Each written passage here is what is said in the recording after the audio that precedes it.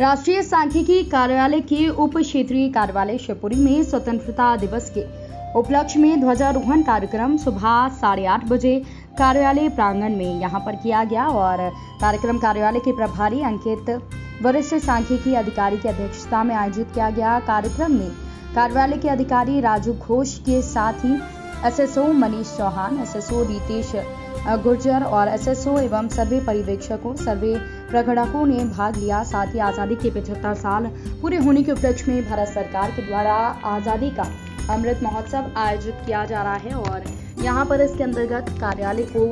प्रकाशमय किया गया।